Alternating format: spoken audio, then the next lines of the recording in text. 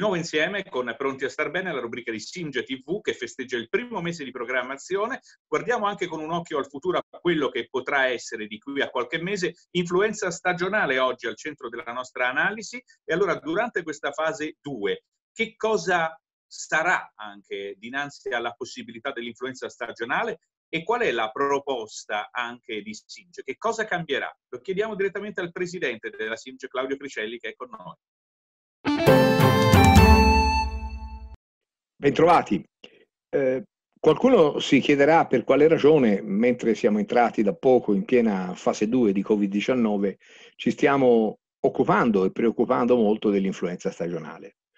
La ragione l'abbiamo già spiegata in un documento che abbiamo inviato al Ministero, alle regioni, all'Istituto Superiore di Sanità, all'AIFA, in cui prendendo spunto dalla stagione influenzale che eh, sta arrivando nell'emisfero australe, quindi Australia, Sudafrica e altri paesi, eh, abbiamo eh, sottolineato come il rischio che eh, si trovi eh, una coincidenza, una sovrapposizione temporale tra influenza stagionale e Covid-19 è molto rilevante. Per questa ragione in quei paesi, ma in tutti i paesi europei, si sta sviluppando un grande movimento, una grande campagna per la vaccinazione estesa, una vaccinazione che abbiamo chiamato universale, il che non significa obbligatoria. Estesa significa eh, disponibile per il maggior numero di cittadini del nostro paese, eh, a partire dall'età minima di sei mesi di vita e possibilmente che comprenda tutte le persone che hanno delle patologie croniche, indipendentemente dalla loro età, ovviamente tutti gli ultra 65 anni fragili e comunque tutte le persone che volontariamente decidono che proteggersi dall'influenza può eliminare uno dei fattori di confusione che in pieno inverno potrebbe creare dei dubbi tra la riaccensione di un focolaio di Covid-19 ed una patologia veramente influenzale o simili-influenzale.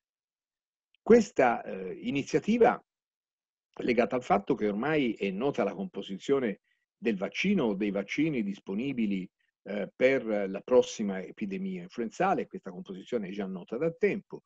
I vaccini per l'emisfero australe sono già stati approntati a partire da aprile del 2020 e sono già in somministrazione a partire dal primo giugno.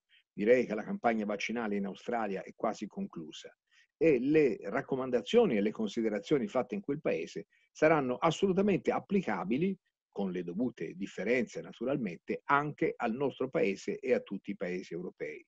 Quindi eh, la campagna è rivolta sia come sensibilizzazione nei confronti dei nostri concittadini, sia anche come appello ai medici di medicina generale. Vorrei concludere con una considerazione.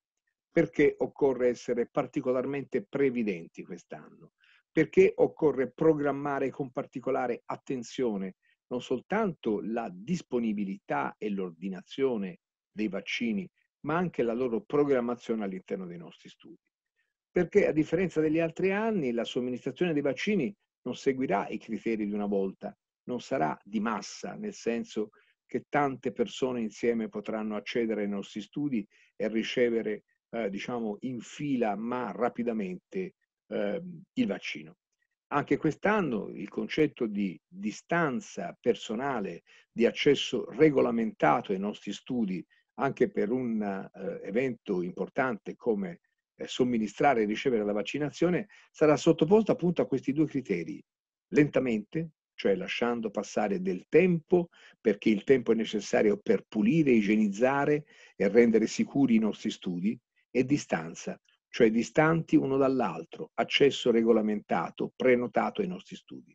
Quindi tutti noi professionisti comprendiamo e dobbiamo far comprendere ai nostri eh, cittadini, ai nostri concittadini assistiti, che quest'anno la vaccinazione non solo è più importante, ma verrà programmata con grande attenzione perché ci vorrà più tempo e maggiore cautela nella sua somministrazione.